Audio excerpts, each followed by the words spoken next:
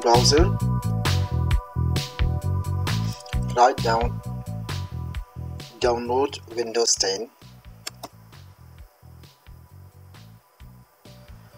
from Microsoft.com click on the link.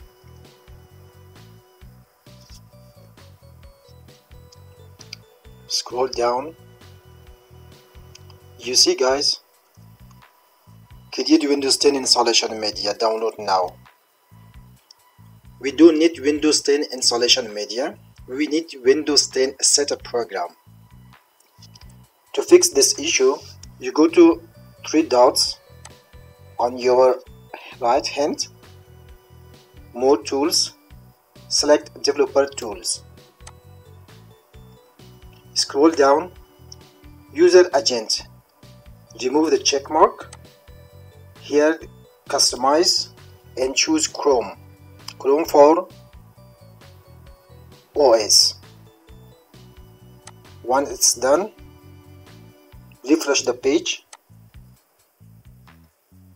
Scroll down. Now you see you can download the windows 10 edition. Close this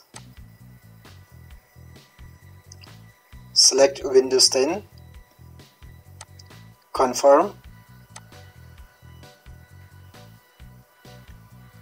From here choose english.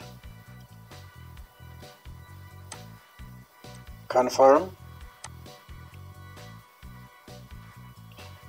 So which one you have to choose? 64-bit or 32-bit download?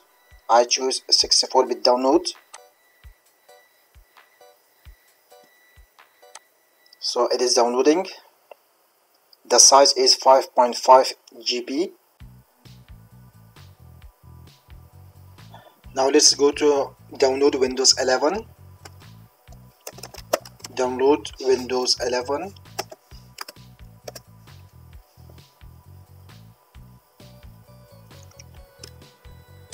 click on the link from microsoft.com scroll down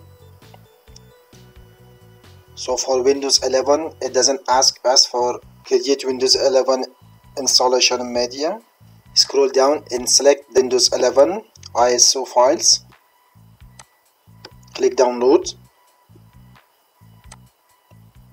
Here choose language. Click on confirm.